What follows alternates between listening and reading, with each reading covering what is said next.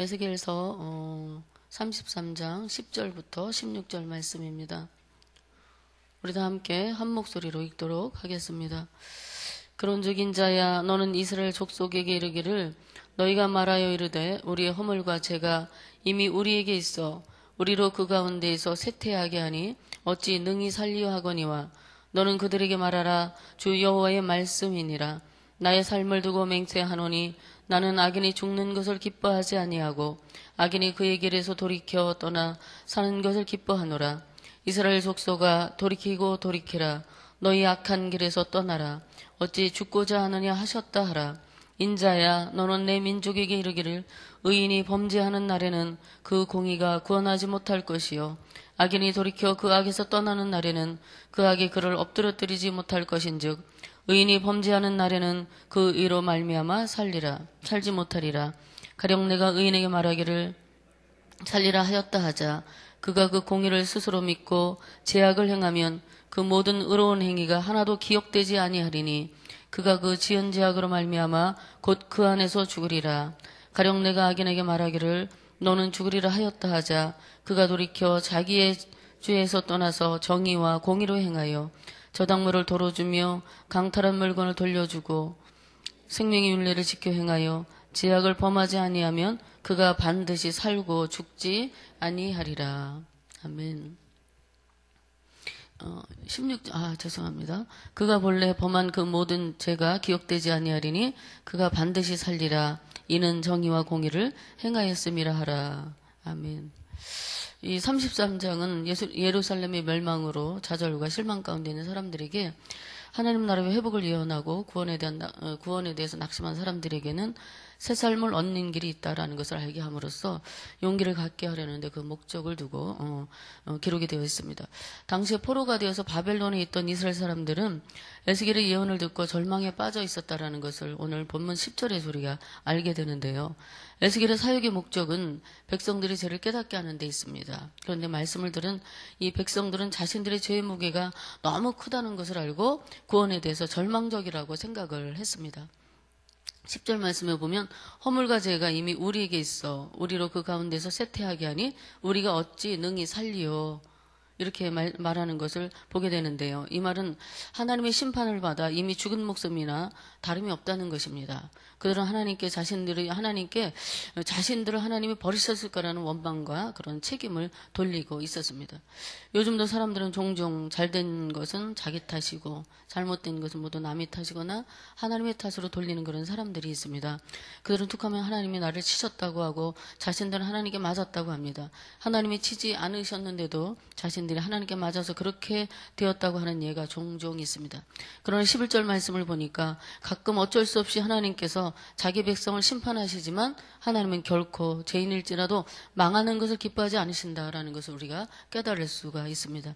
이스라엘의 파수꾼인 에스겔은 하나님을 대신해서 하나님의 뜻을 전달하는 임무를 맡았는데 그러기 위해서는 하나님의 입에서 나온 말씀을 듣고 그대로 전해야 했습니다. 하나님의 뜻을 왜곡하지 아니하고 그대로 전하려면 그럼 하나님이 진 진정으로 원하시는 것이 무엇인지에 대해서 집중해야 했을 것입니다. 하나님께서 당신의 백성들을 향해 진정으로 원하시는 것은 하나님의 심판을 경고하고 백성들은 그것을 듣고 돌이켜서 모두가 사는 것이 바로 하나님의 본심입니다. 그러나 예루살렘은 멸망당할 위기에 처해 있으며 백성들은 마침내 심판의 가능성을 그들이 심각하게 받아들이며 절망하고 있는 거예요. 그래서 11절을 통해 보여지는 하나님은 그러면 어떤 하나님이신가? 살아계신 하나님은 의인만 사랑하시는 분이 아니라 악한 자일지라도 그 영혼이 멸망하는 것을 싫어하신다는 것입니다. 그의 죽음을 기뻐하지 않으십니다. 오히려 그들이 회개하여 살기를 원하시는 것이 하나님이 원하시는 뜻이지요. 하나님의 심판은 사람의 행위와 관계없이 자동으로 결정된 운명이 아닙니다.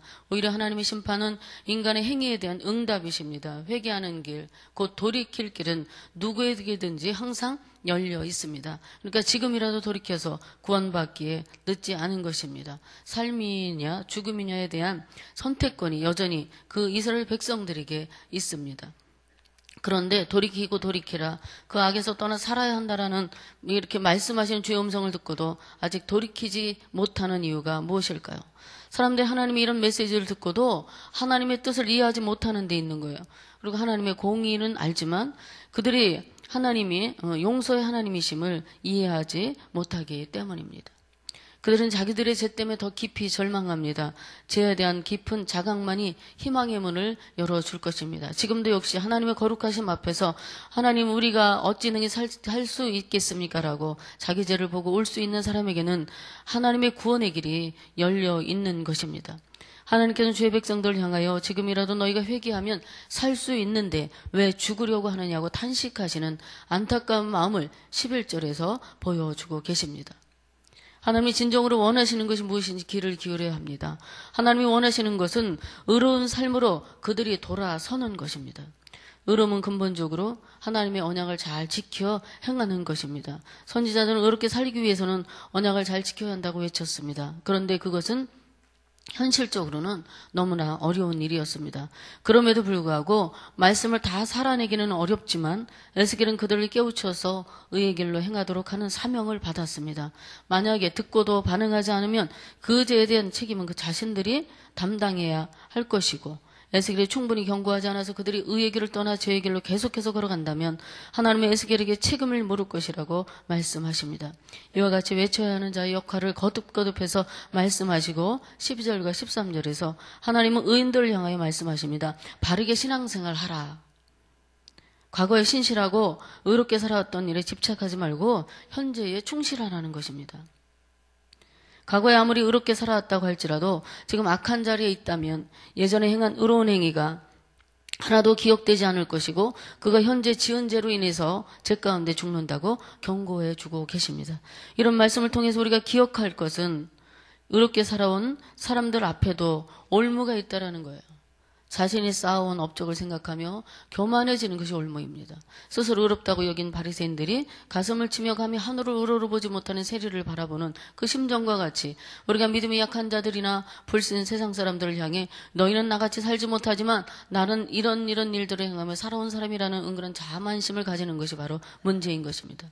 올무는 결코 하나님이 우리가 넘어지도록 놓으신 것이 아닙니다. 그 올무에 걸리는 것은 바로 자기 자신이고 우리의 선택일 뿐입니다.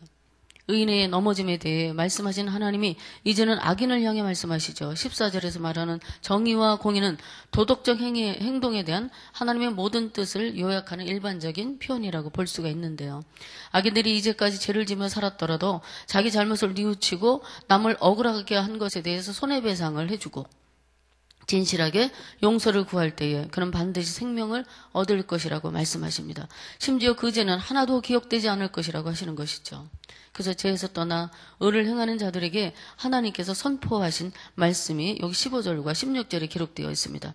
죄 가운데 있을 때에 너는 죽으리라 하였으나 죄에서 떠나 적극적인 그들의 반응으로 삶의 방향을 전환했을 때 너는 반드시 살고 죽지 아니할지라.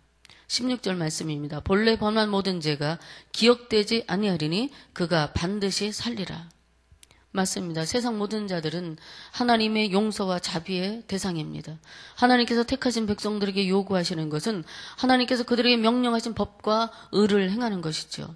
자기들의 생각과 뜻을 버리고 전적으로 하나님의 법과 뜻대로 행하는 것이 생명의 길이고 참으로 사는 길이라고 말씀하고 계십니다. 그러므로 말씀을 우리가 바로 알고 말씀을 따라 사는 삶이 얼마나 중요한지를 알 수가 있지요. 누구는 악인이고 누구는 의인으로 태어났다라는 운명론적인 결정은 없습니다. 누구나 악인이 의인이 될 수도 있고요. 또는 누구나 악인이 될 수도 있다라는 것입니다. 주한 장로교회 전도왕인 안강자 권사님이 계세요.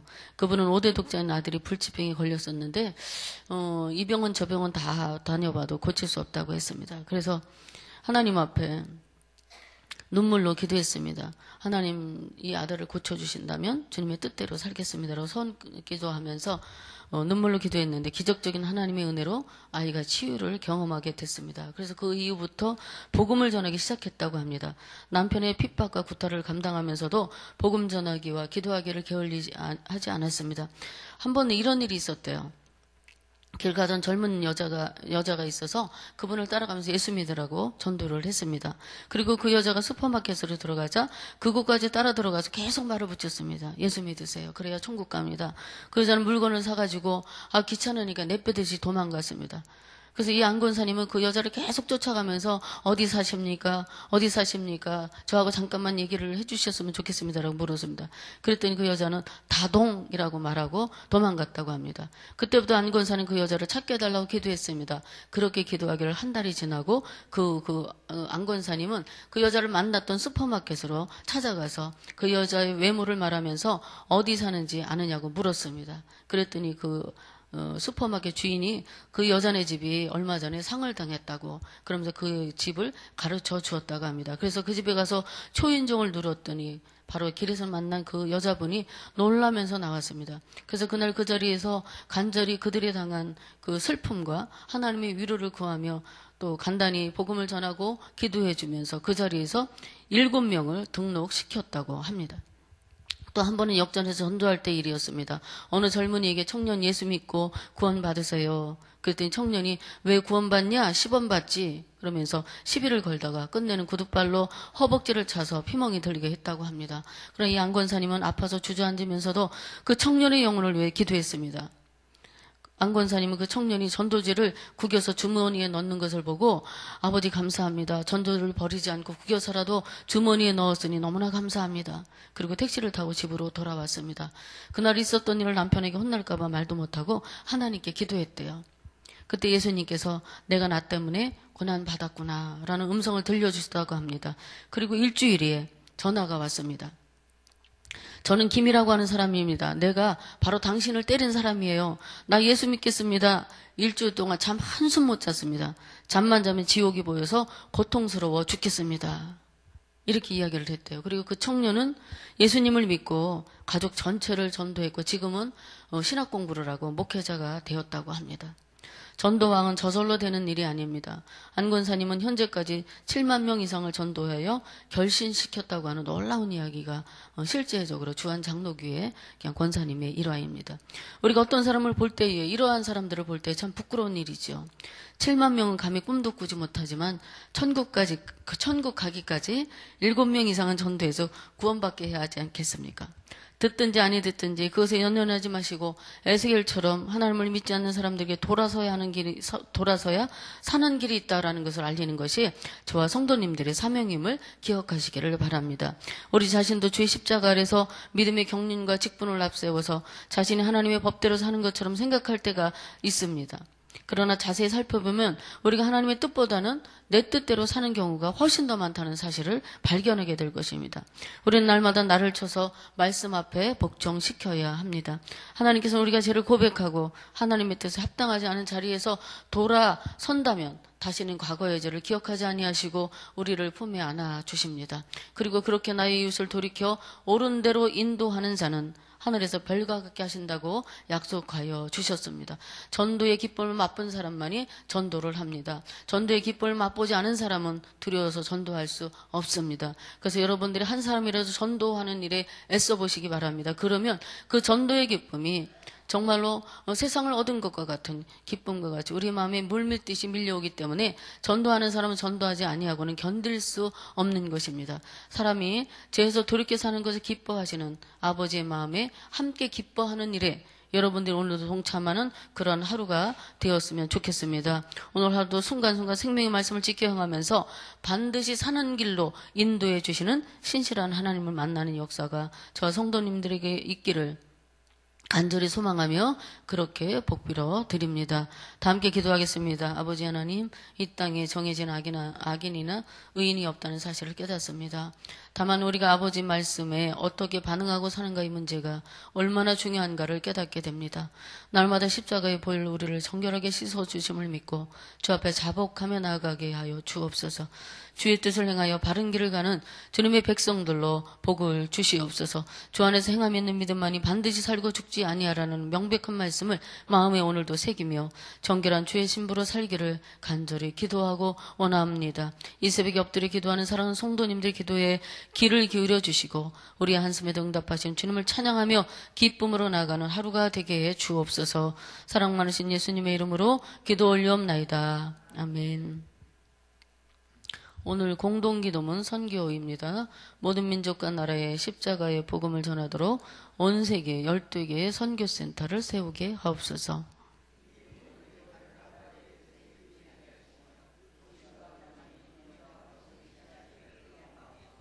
성경에 기록된 약속대로 주님께서 다시 오실 때까지 이 아름다운 발걸음이 강물처럼 들불처럼 이어지게 하시고 주님 뜻이면 어디든 순종하며 나가는 성교 공동체이게 하옵소서. 한 사람을 사랑하고 찾으시는 하늘 아버지의 마음이게 하옵소서. 아멘. 다시 주기도문 하시겠습니다. 하늘에 계신 우리 아버지, 아버지의 이름을 거룩하게 하시며 아버지의 나라가 오게 하시며 아버지의 뜻이 하늘에서와 같이 땅에서도 이루어지게 하소서. 오늘 우리에게 일용할 양식을 주시고 우리가 우리에게 잘못한 사람을 용서하여 준 것 같이 우리 죄를 용서하여 주시고 우리를 시험에 빠지지 않게 하시고 악에서 구하소서. 나라와 권능과 영광이 영원히 아버지의 것입니다. 아멘. 이 시간 우리가 한 마음으로 드실 공동기도 제목입니다. 지금 들은 말씀이 내 삶으로 이어지게 하옵소서. 꿈송과 성경 2천 통독을 통해 말씀해 보기 충만하게 하옵소서. 수요예 가운데 어, 복을 주시고 말씀을 준비하고 전하시는 담임 목사님에게 능력을 더하소서. 전도 특공대 사역을 통해 영원권의 놀라신 은혜가 강물처럼 흐르게 하옵소서 4월 27일 개최되는 남북 정상회담을 통해 향후 한반도 정세의 긍정적인 방향으로 작용하게 하옵소서. 5월 6일 음, 희년, 희년 기념교회 및 북미 미션센터 설립 가운데에 주님의 큰 은혜를 내려 주소서. 5월 19일까지 진행되는 공동체정훈련에 하나님의 크신 은혜를 더하여 주옵소서. 또 28일 토요일 날 서울 제1지방교회학교연합회 예능대회를 축복해달라고 기도해 주시기 바랍니다. 장례 광고 드리겠습니다. 이교구 임대현 집사님의 부인 되시고 임성환 임신한 집사님의 모친 되시는 고 서명자 권사님께서 80세를 일기로 23일 오후 11시에 소천하셨습니다. 입관 예배가 오늘 오후 2시 30분에 있고 출발은 교회에서 오후 2시 있습니다. 발인 예배는 26일 내일 오전 6시 30분에 있고 교회 출발 시간은 오전 6시입니다. 빈소는 건대병원 장례식장 지하 205호실입니다. 또 6교구 김은지 집사님의 부친 되신 어, 되시는 고 김정만 성도님께서 어제 오전 6시경에 소천하셨습니다. 입관 예배가 오늘 오후 6시 30분에 있고요. 교회 출발은 오후 6시에 합니다. 발인 예배는 내일 26일 어, 오전 5시 30분 그리고 교회 출발은 오전 5시에 있습니다. 빈소는 한양대 장례식장 9호실입니다. 이렇게 공동 기도 제목과 슬픔을 당하신 유족들에게 하나님의 위로하심이 있기를 기도해 주시고 각자 가지고 오신 기도 들으신 후에 삶의 자리로 나가도록 하겠습니다. 아버지 하나님 고맙고 감사합니다. 어린 날 건강하시고.